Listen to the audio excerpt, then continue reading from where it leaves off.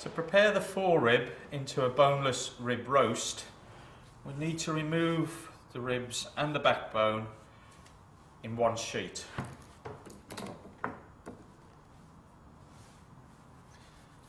Following down the back of the ribs,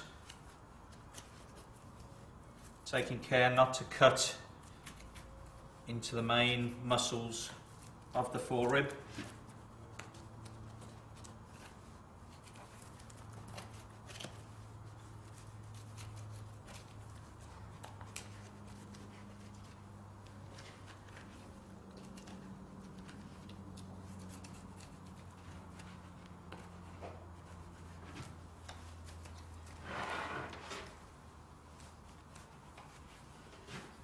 Turn over and just release backbone.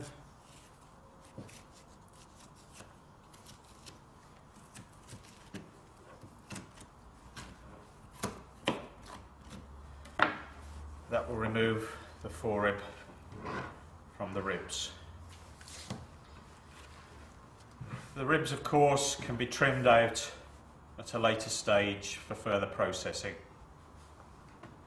Remove the back yellow gristle and any cartilage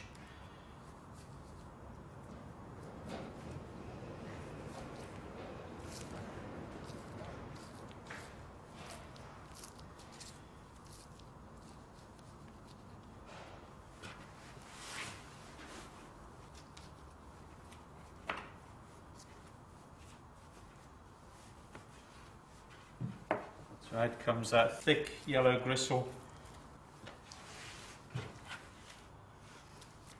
Now we just need to remove the tip of the blade gristle or cartilage.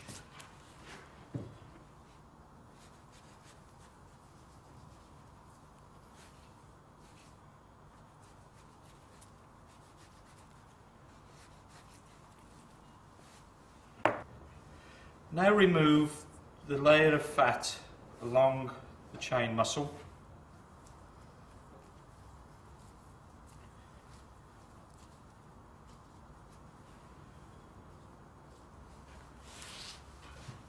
Any small pieces of lean muscle can be used later for further processing.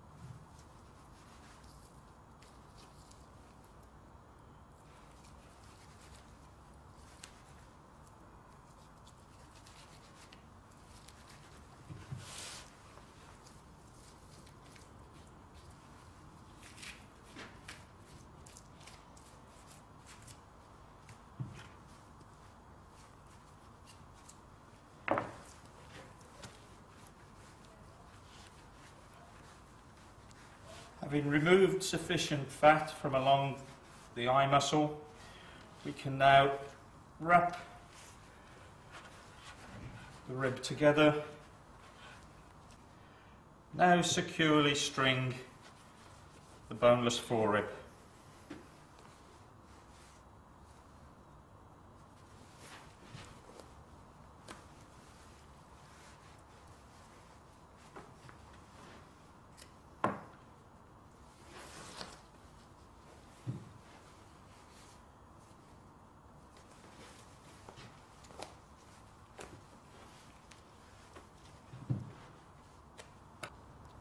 Now the boneless rib is securely tied, we can cut to required joint sizes.